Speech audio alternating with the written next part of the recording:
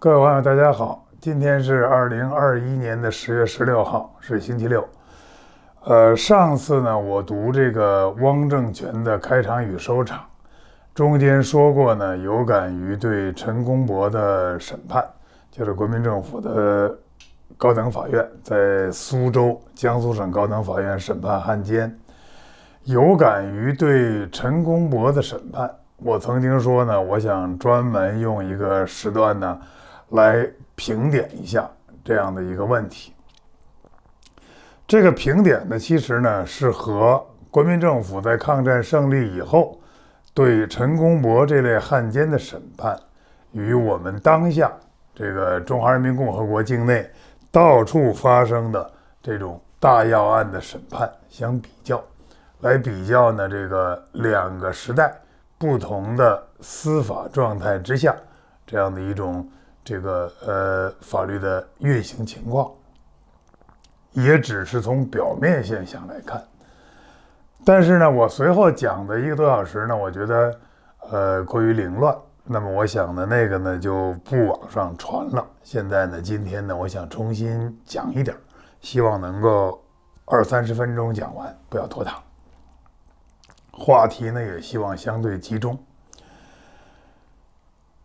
陈公博这个案件的审判呢，因为他的地位特殊，他是这个汪精卫逝世以后代理国民政府主席，他应该是汪伪政权的第一号人物。从地位上讲，虽然他对这个政权的影响力和实际上呢，所做的工作，他的位置要比周佛海这样的这个政治家呢，应该说他的位置要要轻一些。这也是由于呢，这个周佛海非常鼎力的帮助汪精卫去操持这个政权，管了非常多的实权部门。而陈公博呢，是基于友情，他本来呢是坚决反对汪精卫离开重庆。后来呢，又坚决反对呢，汪精卫建立政权，跟日本做这种和平运动，然后呢，又到上海呢去劝说汪精卫不要这样做，不要跟日本人合作。那么等到这个高宗武和陶希圣叛离了汪精卫，把这个中日交涉的那个协约的初稿在香港发布，在这种情况下，陈公博呢跑去。跟这个汪精卫合作呢，算是支持他，希望他这个身边有人帮助。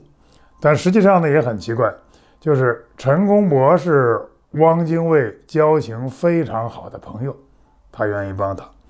而周佛海跟汪精卫其实以前没有什么交情。周佛海是蒋介石的侍从室的一个高级官员，又好像是据说是 CC 系。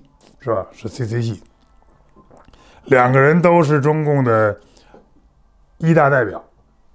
那么对周佛海和陈公博的审判，当然呢，在这个抗战胜利以后惩治汉奸，是当时最重要的政治事件。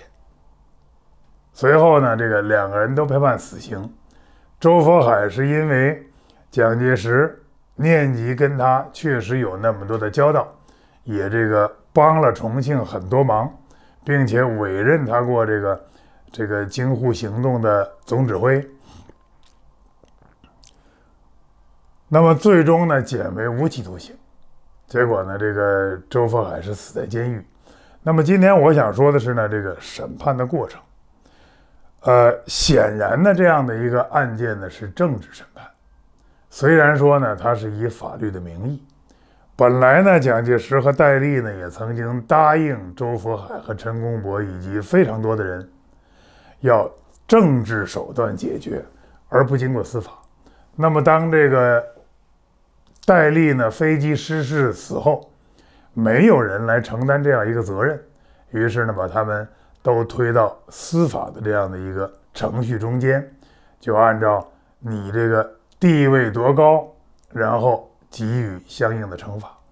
那么，维新政府的首脑，这个汉奸政府的首脑，比如陈公博，这个周佛海，还有呢这个楚民仪，还有就是这个王一堂，呃梁鸿志、殷汝耕、齐燮元这样的一干人等呢，应该说最终都被判了死刑。陈公博在对他的这个指控的十项罪状中间，他逐条的都做了批驳。那么我前两次也给大家读过了，我觉得这个批驳应当说是相当有力的，这些人的才情也是非常好的。那么陈公博意识到这是一个政治审判，他要做出交代，他要对朋友对汪先生负责，他也要对蒋先生负责。于是呢，他不请律师。不去上诉，然后自己为自己辩护，就是这样的一个过程。我个人感觉，这个陈公博是政治家，他能够意识到呢，这个法院的审判不是独立的，是吧？这个检察官和法官都是奉了最高当局的旨意来给他们定罪和量刑的，并且依据的不是在他们。这个组建和参与汪伪政权的时候，不是在那个时候，而是在事后修订的这个惩治汉奸条例，用来追究他们的责任，把他们判了死刑。但是陈公博对此不以为意。然后呢，他呢，这个我关心的是他这个审判的过程。第一呢，这个审判呢，应该说他是政治审判，是敏感案件。是法官说了不算的，是检察官也说了不算的，这样的一个案件是一出戏，但是这出戏演的还勉强差强人意。比如说，他虽然不是独立审判，但他是公开审判。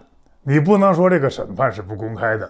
首先呢，这个开庭的时候呢，有这个很大的法庭来为他提供，比如说可以装。两三百人的法庭，然后因为将近五百人到场旁听，法庭呢把这个礼堂的这个这个窗户都拆掉，以便其他的没有座位的这个旁听群众能够在走廊里头也能够侧耳倾听到底有什么。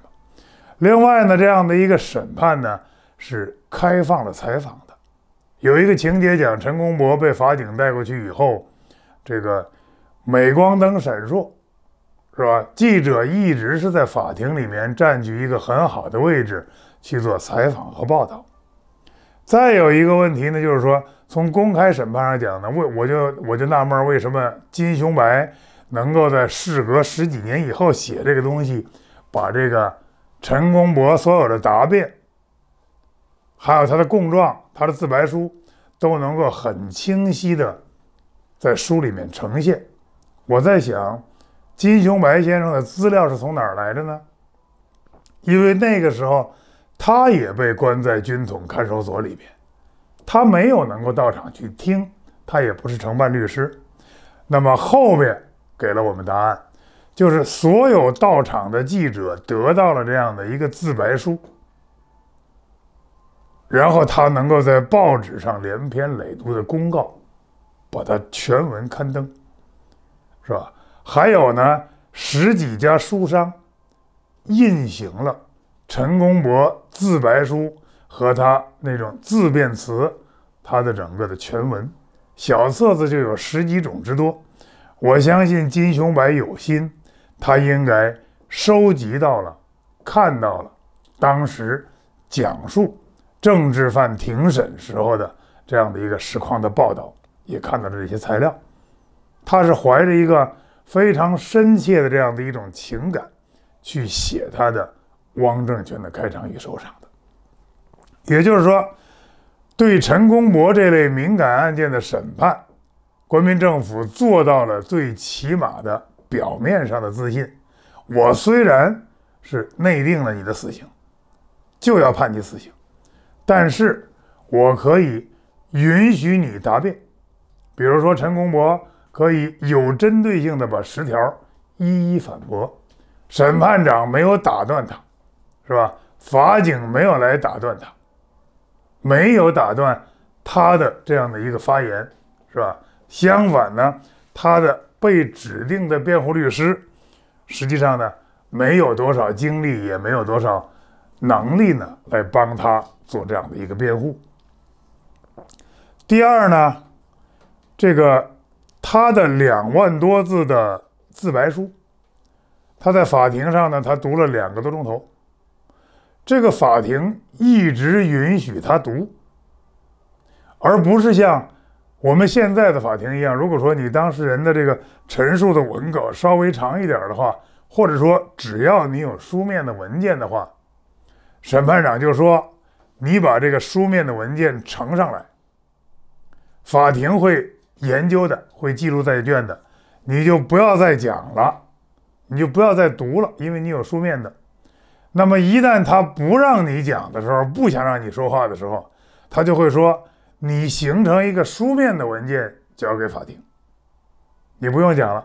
为什么呢？因为审判资源宝贵，时间紧迫，你没有必要讲这样长，他会干扰。那么当时国民政府的苏州高等法院没有干扰陈公博，畅所欲言，让他讲，是吧？记者、媒体让你们采访，报纸你们随便登，是吧？这个呢，说明什么呢？说明那个时候有新闻自由。国民党当然也有中宣部，但是国民党的中宣部管不到报纸的这个设立、注册，是吧？报纸记者的这个任职资格、发证、编辑岗位、总编辑的。这个必须要求国民党员或者这个得到国民政府、国民党中宣部的这样的一个指令都没有。国民党能做的最大的问题就是，我瞅你不顺眼，或者说你让领袖太难看了，是吧？损害了党的声誉，我把你的报馆关掉，甚至扔手榴弹、派特务刺杀，这都是。偶一为之的，但是严格管制到什么东西能报，什么东西不能报，什么样的事件发生不许派记者，这种情形，这个蒋介石是没有这个概念的。他想干预新闻自由，在那个时候他做不到，因为民间有办报的权利，是吧？你这个自己只要有钱，不怕亏本，你愿意往里填，是吧？有发行量，有广告，那么不管是上海孤岛还是国民政府时期，报纸都是有的，杂志都是有的，出版社都是有的。自己开个公司，然后有设备，有人给你印，就可以把陈公博的自白书大把大把的印出来。我想问陈子明的《谁是历史的罪人》，我看过的那篇特别好的自辩词，有人在中国内地。可以出版吗？应该是没有的。这是那个时候的一个很大的区别，这就是审判公开。那么还有一个问题就是说，公开审判或者说审判公开是非常重要的因素，但它不是公正司法的最重要的因素，是吧？如果说那个时候可以公开，但是。裁判不是由法官做出的，不是由审理案件的法官做出的，它也不是一个合法的审判，也不一定是一个公道的审判。为什么？就是因为裁判者没有裁判的权利，你没有办法让这个法官去负责任。蒋介石要枪毙陈公博，谁挡得住呢？没有人挡得住。因而。公开的审判，允许群众旁听，完全不加限制，允许报馆采访，允许出版商出诉讼文件、出卷宗，是吧？把它印成书，洛阳纸贵，这些都是公正审判和独立审判的这个条件之一、前提之一。但是，它还不是那种。充分必要条件，真正充分的充分必要条件，或者说真正的必要条件是什么呢？还是独立的审判，独立的裁判。那么这一点上呢，其实我就又联想到美丽岛事件。大家知道，原来我的那个标签是用过美丽岛律师。我曾经想过呢，要因为我说过我自己不擅长阻挡，是吧？也不会去结社，然后呢，也不再会去到街头上去游行示威了。但是我认为这些都是宪法权利。我想做一个美丽岛律师，就是要为美丽岛杂志的这样的一些实践者去做辩护。那么这就要说到美丽岛事件。美丽岛事件呢，实际上台湾当时这个在蒋经国时代，这个当时呢有党外势力，虽然说呢有暴禁，也有党禁，还在戒严，还在戡乱时期，还在追捕匪谍，但是台湾在那个时候，六十年代、七十年代就已经有党外的这种政治势力在阻隔。针对国民党的这样的一种威权统治，实际上挑战还是非常非常的剧烈的。比如说，这个创办自由中国的雷震，是吧？他这个做了，后来判了十年，好像判十年徒刑吧。这是国民党的高官，到退台以后呢，从五零年代初，在那样的一个风雨如晦的时代，他就创办了自由中国。逐渐逐渐的，自由中国实际上成了台湾反蒋或者说党外势力、自由主义思潮的这样的一个很集中的地方。那么办刊、办报是吧？这个学术自由一直是国民党这个老蒋和小蒋时代威权时代台湾政治的一个重要的方面。这些才逐渐逐渐的演变成在。党禁报禁开放以后，大概是一九八八年戒严结束以后，这个民进党和其他党外势力的这样的一种博兴，以至于实现呢台湾的民主和宪政与权力的这个两党之间的这样的一种有秩序的轮替。现在呢，还是这个民进党在执政，国民党在野，是这样的一种情形。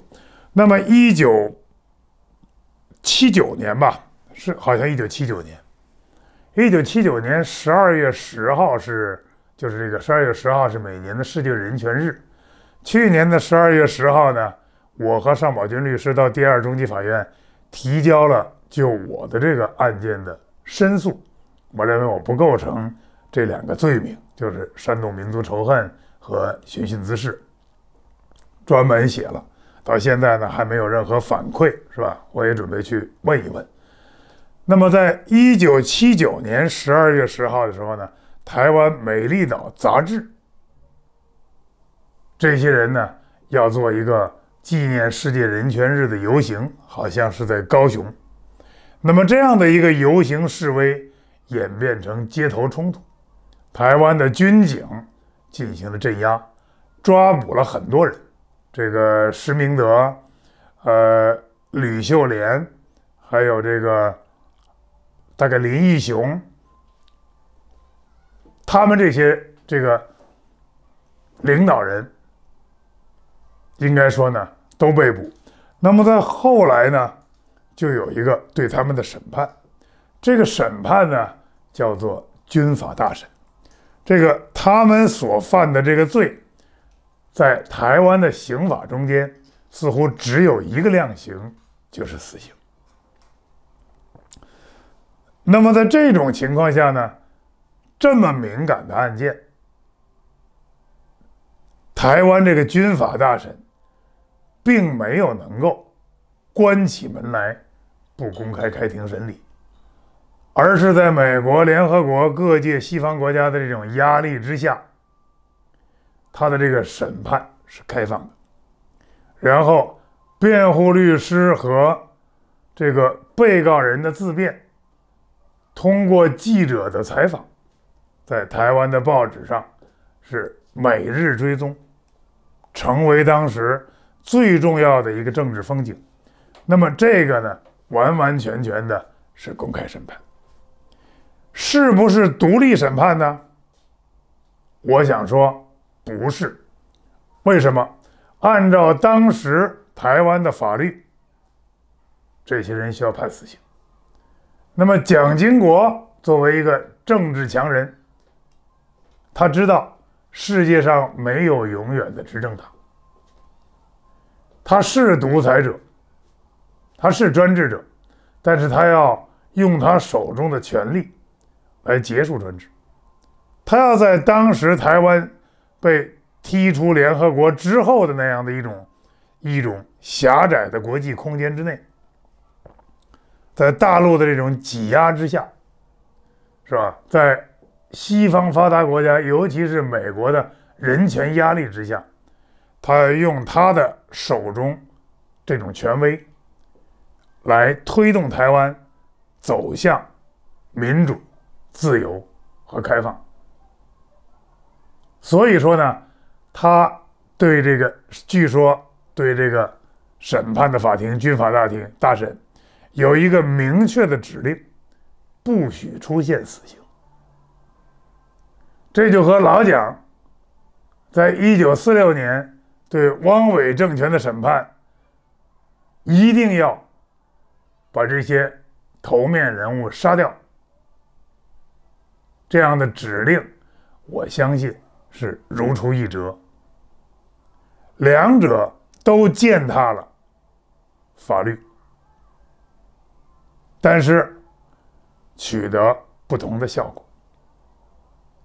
我读这个汪政权的开场与收场，深深为陈公博的才情、友情和他的这个大义凛然为他所折服。他和老蒋真的是棋逢对手，虽然说汪才是和蒋同样重量级的对手，也就是说呢，汪伪政权的这些人物通过金雄白的著作的呈现，他让人深深的敬仰和同情，这是我读这个书我的感受。至于说这个感受对与不对，历史观是不是？是不是正确的，那是另一回事。我不需要对公众特别认可的主流价值观、历史观去负责任。我追寻我自己读书时候的这样的一种感受。我不会从这个书里面很轻易的就走出来。我还需要看更多更多同类的书。那么我说的是，一九四六年对汉奸的审审判。和一九八零年，大概是八零年，台湾对这个美丽岛事件的审判是不一样的。那么美丽岛的这些人关在牢里也讲过，为台湾争民主、争自由，比为中国谋统一更加重要，是吧？这个是他们在牢里的话。那么通过军法大审，这个。第一代这些党外人士、民进党的这些先驱，他们被判刑了，是吧？不管是判多重，总之呢，没有死刑，都还在为未来台湾的民主政治保留了这个最重要的这些火种。还有呢，在这个过程中间，帮他们辩护的律师，因为这样的一种传播。因为这样敏感的政治案件的参与，因为他们强有力的辩护，而成为新一代的政治领袖，比如陈水扁，比如张俊宏，比如呢这个姚嘉文这样的一些辩护律师，他们到后来也是台湾民主转型过程中间民进党人的领导层、中坚力量。陈水扁呢，曾经连续两届担任呢这个台湾中华民国的总统，我们现在叫伪总统，是吧？至于说陈水扁他的这个贪污，后来被判刑，这就和韩国历任总统的遇刺、坐牢，是吧？一样，他能够在选票的这种选举之下。上台执政，这是一回事；他没有能够管住自己，这个制度也没有能够约束住他，以至于他贪污腐败了，这是另一回事。而这个政权不管是怎么样，能够给他一个公道，针对他贪污腐化、受贿这样的一些犯罪行为做出惩处，这是第三回事，这是第三件事。我们现在呢去嘲笑陈水扁是贪污犯，这个、这个、这个朴朴槿惠吧，这总统。也有问题，李明博那么大的老板，好像这个腐败的问题上也也翻了船，这个实际上是另一回事。我们现在真的是没有资格去评价韩国和这个台湾对贪腐领导人的追责，他们的问题不是不完全是制度的问题，他们没有那么大面积的腐败。那么讲到这个，这个一九八零年的美丽岛审判军法大审和一九四六年对汉奸的惩治，两者都是敏感案件，都是司法不独立，是吧？都不是独立审判，都受到了领导人的强力干预，都是政治审判，是吧？这是一个问题。但他们有一个共性，他们是公开的审判，记者可以进。这个旁听群众可以进，是吧？报纸可以去刊载，教授们可以去研讨，是吧？可以去评点，律师呢可以自由的发挥，是吧？这样的一种情形，这是在这个中华民国光复以后和到台湾以后做到的。那么我现在要说呢，我们自己我所经历的若干个审判。从一九八零年我观摩那个审判，就是看电视，对林彪、江青反革命集团的审判，这个这个电视是转播的。那个时候电视还很有限，我还记得滦县一中一九八零年特别法庭，我们县一中只有一台十二寸的电视，我们到唯一的一幢二层楼上去看这样的一个审判，我们看过，但是不懂，我也不会想到。我的这后面，这个十几年后，我会成为一名律师。我当然更不会想到，在成为律师十几年之后，我会成为一个被告人，一个犯罪嫌疑人被抓进去。我当然更不可能想到，在辩护人席上，为李作鹏辩护的律师张思之先生，会成为我的师傅，会成为我的辩护律师。我会和当时十五岁时候所看到的那样的一位、那样的一个场景中间的人物发生这么直接的交集，这我都想不到。这是我家的狗在叫，应该是快递来了，我订了东西，对不起啊。那么那个审判是什么审判呢？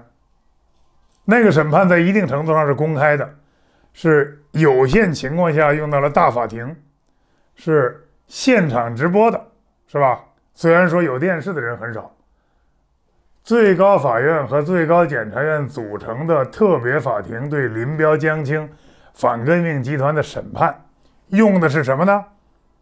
用的是一九七九年的刑法。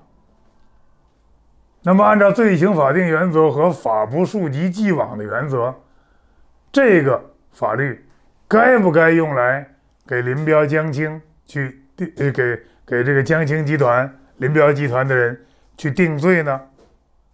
我觉得应该不不可以，还不如用当时的这个什么惩治反革命条例、公安六条那时候的政策去处理。那么现在的这个法律，如果说比原来轻了。那可以过来，我没有太留意判决书，我只是这样的一种感受。欢迎这个专家来批评，我不是专家。那么我想说的是，这个审判是公开审判，但这个审判是独立审判吗？显然不是。江青和张春桥判死缓，是依照法律做出的判决吗？我相信来自权力的意志。还有一个问题，我插一句啊，大家可以想办法去读一读，有些 PDF 文档也有。邱会作回忆录、李作鹏回忆录、吴法宪回忆录，还有呢，这个黄永胜的儿子写的，他父亲叫军人永胜。这些回忆录，尤其是下半部分，他们进入到中共权力高层以后，就是建国以后，他们所写的回忆，应当说史料价值比较高。我顺便还想说一句呢，凡是在中共建国以后的历次政治运动中间被打倒、被淘汰，没有能够翻身的。像黄五、李秋这样的人，林彪集团这样的人，他们对于人生和政治斗争的反思，包括高岗下面的张张秀山这样的一些人，他们的反思可读，他们的反思是真的反思。那么，凡是在文革期间被打倒了，然后又平反昭雪、恢复名誉，进入到政治高层的革命老干部。他们的反思，学术学术性谈不上了，真实性和深刻程度就差很多，因为他们又有公务在身，他们又要为这个体制背书了，他们写的东西就不好看了。还有一个问题，这些文革以后平反了的老干部。不管未来担任过什么样的职务，比如邓小平，是吧？他们在文革结文革之前，他们在被打倒之前，当他们在惩治别人的时候，也是一样。不是说刘少奇就比毛泽东、康生好多少，谈不上，是吧？这个四清运动、社会主义教育运动，刘少奇、王光美对。农村这样的一种干部的整治，应当说是非常残酷的，非常残酷。毛泽东南巡的时候，红卫兵造反，这个大学生造反，那么刘少奇和邓小平向高校派工作组，工作组对蒯大富这样的造反派学生，这个斗争和整治的力度、残酷程度，也是。非常非常令人发指的。那么毛泽东几十天以后回来贴出来我的一张大字报，把这些人解放出来，把压迫他们的刘少奇、邓小平打倒。对于那些被压迫的学生、造反派，是多么的让他们鼓舞，这个是可想而知的。所以说，老人家毛老人家他的政治手腕。非常的高超，运动群众，是吧？让刘少奇、邓小平去做坏事，然后自己把他们解放出来，然后造反派一起来这个冲向官僚集团夺权，然后把老干部打倒以后，再把这些红卫兵造反派通通的流放做五幺六分子啊，做什么其他的，是吧？再往后让所有的人。上山下乡，是吧？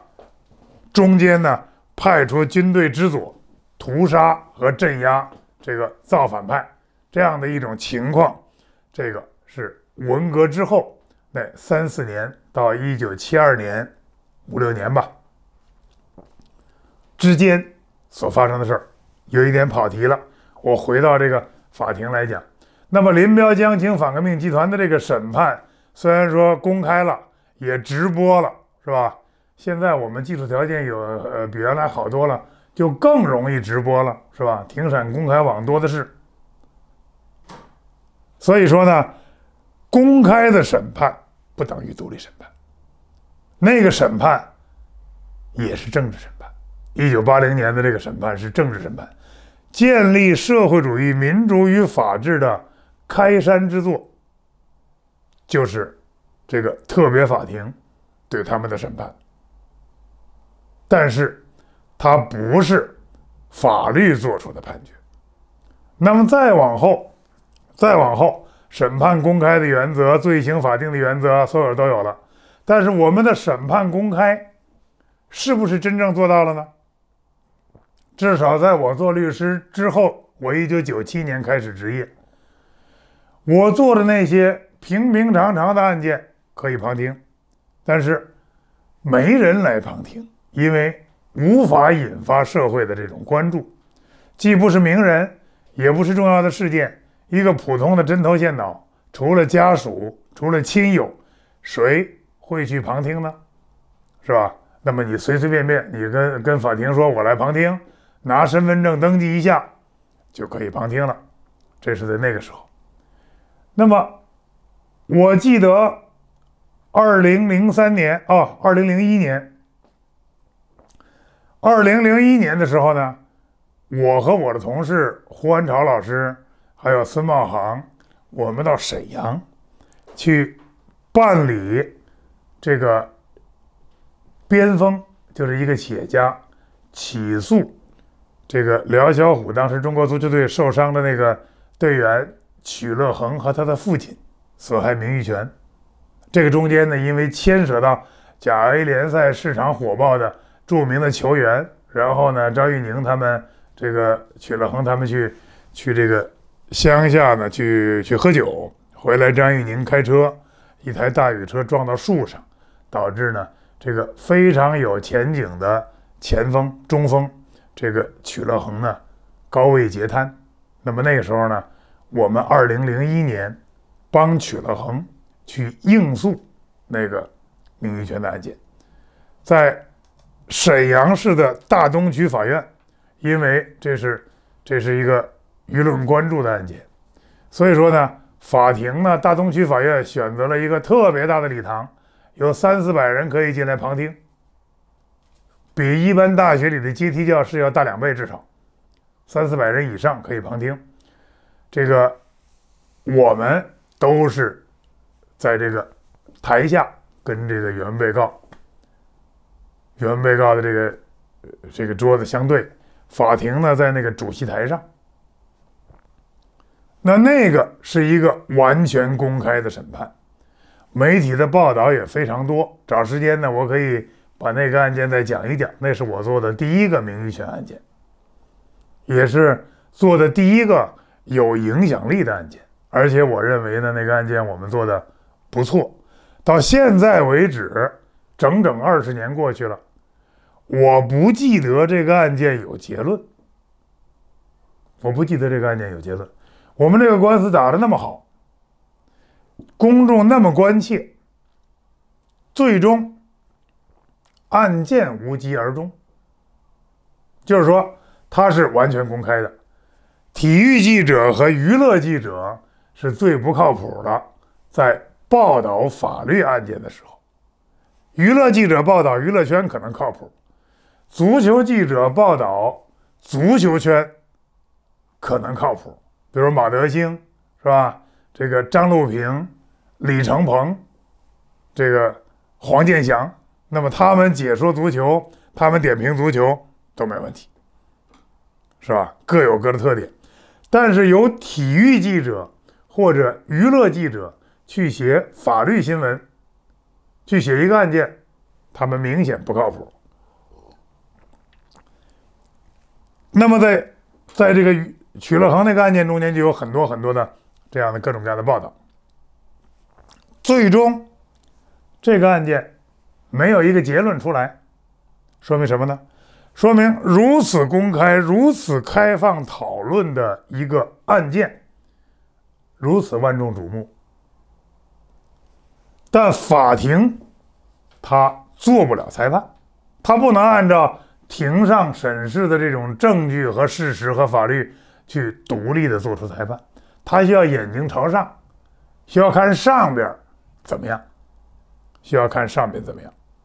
那么这个呢，是一个公开的案件，没有没有结果，这就说明没有独立的裁判，没有独立的裁判，是吧？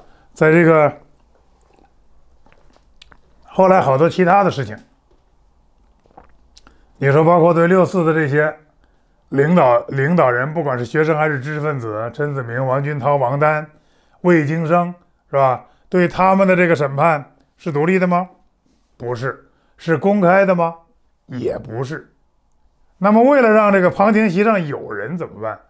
安排安排自己人去旁听，把这个位置占满，然后对真正想旁听的人说：“没有，没有旁听席位了，票已经发完了，没有了。”这是一个我们现在最常见到的时候。那么，这个案件是不是我关起门来就一定不能公正审判呢？不是。关起门来审判也可以做出公正审判和独立审判，关键是这个法庭是不是他背后有牵线的木偶，他是不是傀儡，他是不是按照庭上这样的一个事实和法律，按照证据来做出裁判？所以说没有，没有。那么有时候呢，这个。不够公正的审判，有可能是来自于政治权力的压制，是吧？我们现在这么多的贪腐大案，审理周永康、令计划、薄熙来、孙政才，是吧？是公开审判吗？没有，谁去听了？想听的能听吗？薄熙来在济南开庭，北京这个地方让公安陪着我，就为了免得我到济南去。其实。我根本没有这个兴趣去，他们也要到位，这说明什么呢？说明稳控是一体化的。比如说，二零零九年我们做的成都谭作人的案件，是公开开庭吗？不是，所有在场的旁听人员，除了做人先生的夫人王庆华。和他两个女儿中间的一位进去旁听了，其他的二三十位，通通都是什么呢？通通都是毫不关心案情的安排的这些旁听人员。那么，不是一个公开开庭的审判，这个假托一个公开审理的这样的一个一个。名头，然后行这种这个秘密裁判、宗教裁判、政治审判之时，把谭作人判了五年徒刑。这是零九年，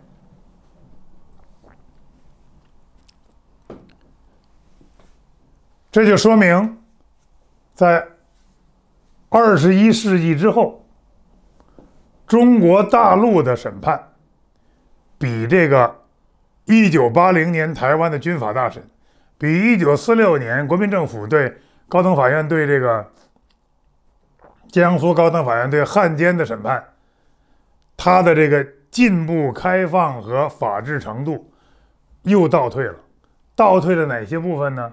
倒退的是表面上的公开，因为我们现在来讲呢，不对官不对旁听人员公开，自己安排旁听者。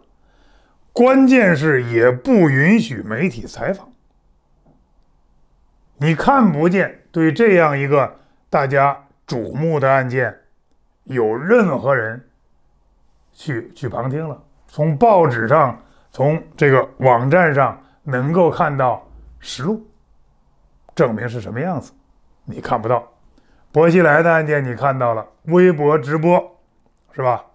但是又怎么样呢？是独立裁判呢？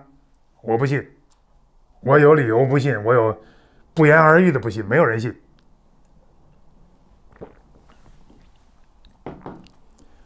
那么到我们做这个行政诉讼的案件，比如说任建宇的案件，我们在涪陵三中院起诉劳教委，说他这个劳教措施那个决定是违法的。任建宇转发杨恒军和这个于建荣先生的微博，还有自己的一些微博的言论，符合言论自由的范畴，不存在煽动颠覆国家政权的事实，不应该把他拘捕，不应该把他处以劳教。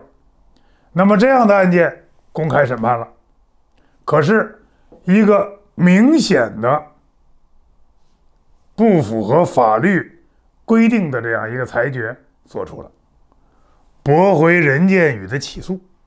为什么？说他十五个月以前，就是二零一一年九月二十三号被处以劳动教养。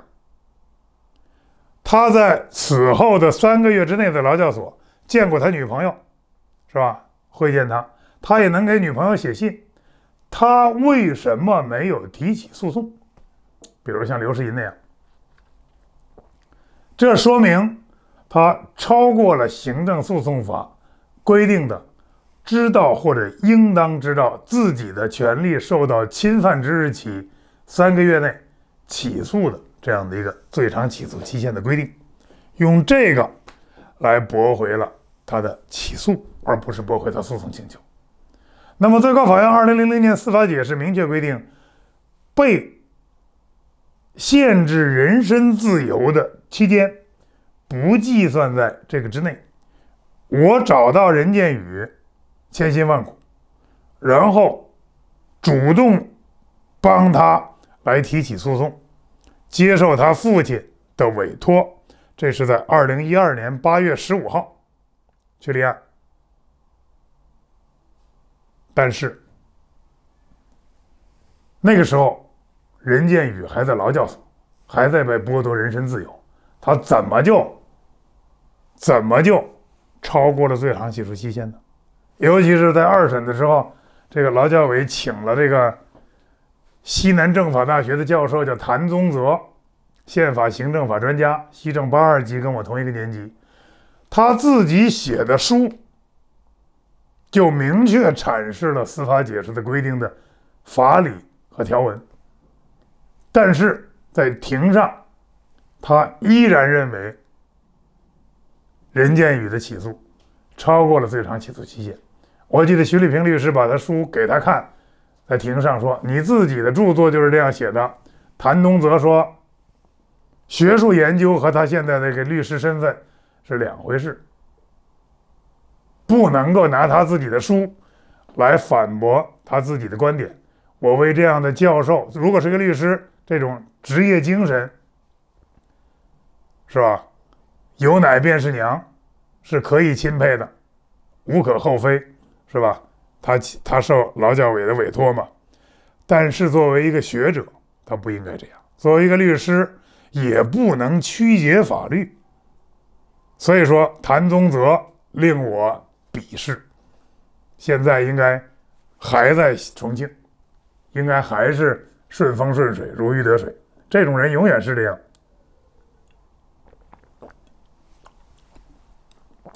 我记得在劳教制度废除以后。西南政法学院有一个讲座，就是叫在劳动废止劳动教养制度、废止劳教最前沿，谭宗泽去开讲座。他是不是想说他促成了废止劳教制度呢？他的工作我没有看到。我知道的是，任建宇那个时候已经恢复自由了。废止劳教以后，从永川坐车。到重庆跟何三位一道去听这个讲座，但是何三位和任建宇在场上听谭宗泽教授讲述如何推进废止劳动教养制度的时候，他们的身边是有学校的学生和国保在紧密监控的，这就是当时何挺治下的重庆。这是任建宇的案件，既不公开，没有人可以能够进去旁听，是吧？没有，好像连任建宇的爹都没进去，没人可以进去。那么这样的一个裁判，他不是法官做出的。杨玉法官非常明确的要要要判我们获胜，他已经判了方竹笋获胜，是吧？但是他没有办法来解决这样的一个问题。他只能枉法裁判，这就是二零一三年、二零一二年重庆的现实。他也是整个中国的现实，整个中国的现实。二零一三年，我们去衢州办理于其一的这个案件，于其一是温州的一位一位这个总工程师，国企的，他被双规，但是不到一个月他就死掉了。案卷证据应该显示他是被水呛死的。纪委刑讯逼供，专门买了个一米四深的木桶，南方人泡澡的木桶，用水买来冰块放在里头，把它扒光，四个人提着四肢，一个人往下按，把它浸到零度的水里，然后把它呛死，就这样的一种情形。我们作为被害人这一方，我和吴鹏斌律师没有看到案卷，庭上。每人有一个话筒，我和吴鹏斌律师坐在法检察官身后。我的话筒是没有声音的。这些都是特别设计好的预案。一个上午，审判长就把我和吴鹏斌律师逐出法庭，然后整个的开庭没有人可以旁听。没有人可以旁听。这是二零一三年进入新时代以后，应该是十八大以后不收敛不收手，这些人还在这样做。二零一三年，那么二零一四年是我就出事了。二零一五年对我的审判。法官告诉我，二中院在装修。你所说的希望一个更大的法庭，条件有限。那么这个法庭是在地下室，跟这个铁笼子用来临时羁押这个被告人的这个，在同一层，在地下室里头的一个小法庭，大概能成。有个三十米左右，二三十米吧。旁听席位我忘记了是十个还是十二个了。那么有谁来旁听了呢？我老婆进来了，他是在组织的安排下来旁听的，当然他也非常想旁听。他的一个同科的好朋友、同事陪着他，安抚他的情绪，还有他们医院的。保卫处的领导，其他所有的人，我都不认识，我都不认识。那么，对我的案件的审判是不是独立审判呢？我相信我会有时间把它讲清楚。我也正准备回忆这一段事情，往回拉，说我自己的没有什么，没有什么这个。没有什么大，没有什么说服力吧。艾薇薇的案件是我办的案件，艾薇薇的发克公司的税案在朝阳法院审判，在朝阳法院审判这个案子，将来也可以讲一讲。我跟艾老师到时候商量一下，看看我们怎么样，或者是对话呢，或者是或者是把它回忆一下，讲一讲。它非常能够反映我们现在的审判的情形。我们现在有非常大的礼堂，我们可以搞搞几十万人的聚聚会集会，但是不能给一个案件提供足够的旁听席位。每一个县级法院的大楼几乎都应该是仅次于这个县委和县政府的这种建筑，非常漂亮，高高的台阶，巨大的国徽，是吧？这个庄严的这个法锤，然后呃，令人。凛然，这个尊重的法袍，这都装备在法庭上，有这个庭审的直播，有各种各样的审理设施，通通都有。但是，他不能给一个最需要公开的审判，以一个什么呢？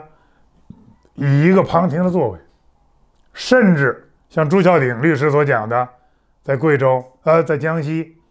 有巨大的礼堂和法庭，却不会允许家属旁听，案件也不涉密。十二号就在这个月的十二号和十三号，我的朋友郝劲松，他在山西定襄法院还是哪里我忘记了，开庭审判。有谁能旁听吗？有一个诽谤罪，说诽谤了领导人，诽谤哪个领导人？我问过人，说不能说。然后这样的一个诽谤罪的案件，居然不公开开庭审理。如果其实法律没有规定说诽谤罪不能开庭审理，法律的规定是个人隐私、这个商业秘密和国家秘密，这样。才不能够公开开庭，未成年人的案件不能公开开庭。谁说过诽谤罪不能公开开庭了呢？如果诽谤罪不能公开开庭，名誉权纠纷不能开庭，我们做的余秋雨的案件呀，或者说或者说这个桥房公司的案件、中国农民调查的案件，这个这个曲乐恒的案件，怎么会有那么多人旁听呢？没有一个连旁听都没有的这种案件，一个公开都不可以公开、都不敢公开的案件，都千方百计的安排好这样的案件，你怎么可能指望它公正呢？那么，艾薇薇的发克公司的案件在朝阳法院，我们当时很纠结，在于法院也很纠结，就是说这个证据的原件。什么证据？就是发克公司的历年来的财务凭证。你不是说他偷税漏税吗？逃税吗？你得有这个凭证啊。做出处罚和处理决定的是北京市地方税务局东东城东城税务局，是北京市地方税务局第二稽查局，大概是，有点忘记了，到时候我可以去查。那么这样的这样的案件，税务机关做出处理处罚决定，它是个行政措施，需要干嘛呢？需要依据凭证的审计，凭证呢需要有原件，所以税务机关来查税的时候，往往要把原件拿走，但是三个月之内要归还。我们在复议呀、异议呀提提提出异议，是吧？申请复议、提起诉讼。作为行政相对人手里，按照法律规定是要有这个原件的。对方行政机关拿出来处罚决定，他要举证，他来举证证明我们有逃税的情节，应该处罚。他举的一般说来是是复印件，我们要拿我们的原件去跟他进行质证，但是我们手里没有原件。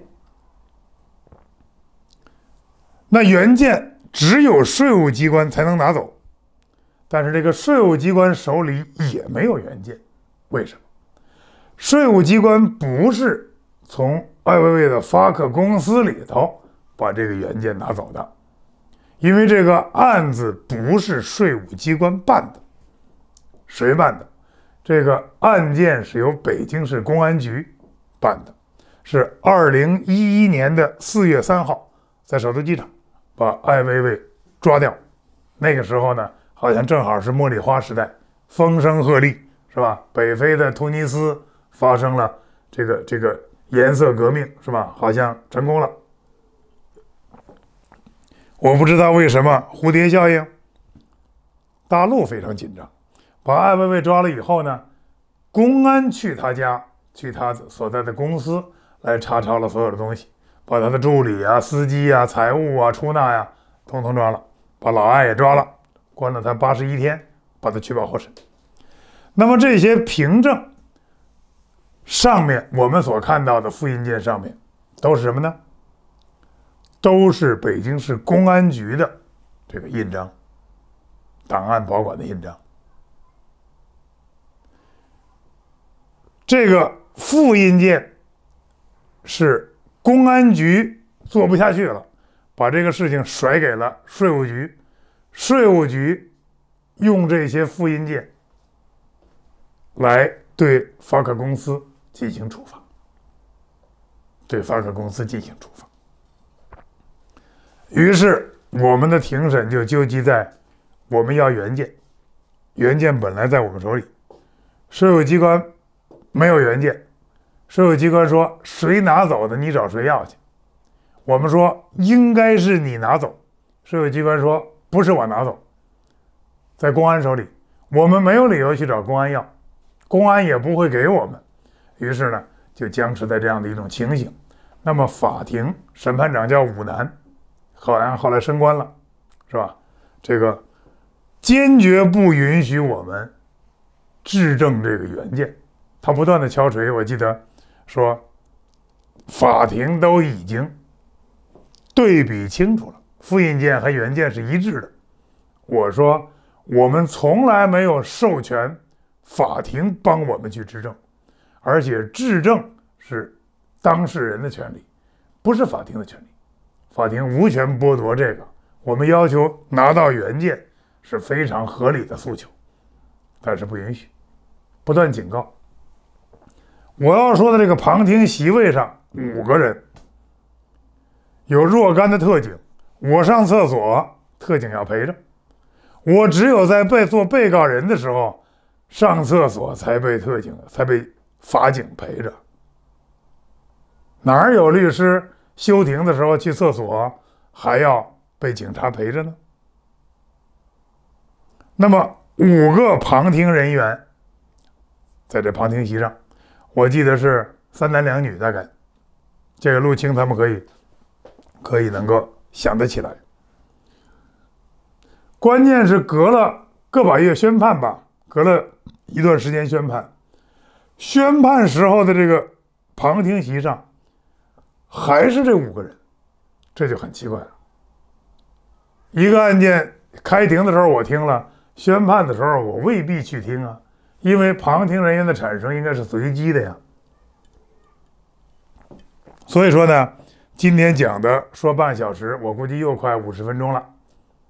今天我就讲到这儿。我是说，我们现在的这个法庭，跟这个一九四六年的江苏高等法院审判陈公博那个法庭，跟一九八零年代初审判。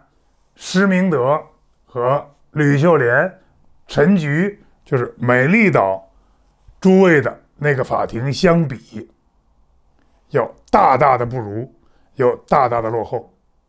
我们的法治建设在最近的十几年以来显著的落后，这是一个不争的事实。这个事实来自我的自身，来自我的经历，来自大家。耳熟能详的这样的一种经历，在这一点上，我觉得我们要关心他，我们要用热切的参与和关心来帮助这个国家法治变得越公开、越透明、越独立。一个堂堂的最高法院院长不能今天拔剑亮剑，明天又把剑收起来。后天又拔剑，这样的话呢，不能够给人以稳定的预期。法庭应当稳重，应当独立，应当不怒而威，应当凛然不可侵犯，这才是审判为中心。我们现在那么多的扫黑除恶的案件、职务犯罪的案件，是不是独立？能不能公开？天知道，天都不知道，应该是鬼知道。谢谢。